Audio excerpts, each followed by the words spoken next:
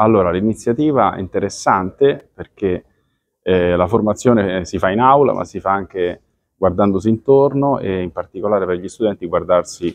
intorno fra le aziende, eh, con la possibilità di cimentarsi in attività che richiedono lavoro di gruppo, richiedono qualcosa in più che proviene da altri contesti, quindi studenti di, diverse, di diverso indirizzo e quindi già da subito eh,